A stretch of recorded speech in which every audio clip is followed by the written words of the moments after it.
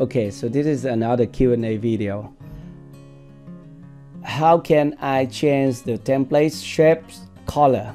It was asked 21 hour ago.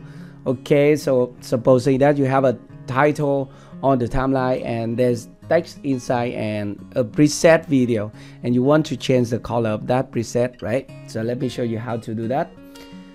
Okay so this is my Filmora for example I'm going to use the title okay with the shape one so we use this lower third. And this one for example.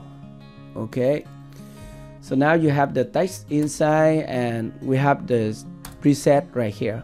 So if you want to change the preset color like this color all you need to do is to select the preset at the preview window and just double click at the preset and then go to color.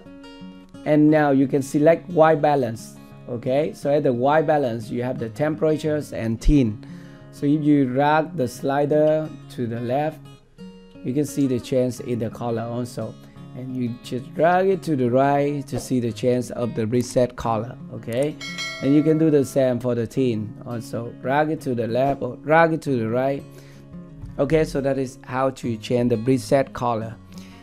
I am not a color scientist so I cannot explain what is uh, what exact color you want in your video by the way I know that when you double click at the preset and go to color and then you can adjust the white balance to change the color of the preset in Filmora 11.